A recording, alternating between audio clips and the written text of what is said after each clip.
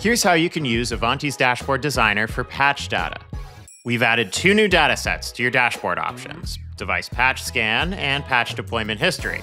In the device patch scan dataset, you'll find all kinds of information on CVEs, whether those CVEs have been exploited, where devices are missing patches, and a lot of metrics around the patches themselves, such as vendor severity and release date. And then, with patch deployment history, you can access all the patch data most relevant to you and build it into your dashboard exactly as you want to see it. For example, you can chart your patch success rate over the course of a week, a month, a quarter, or a year.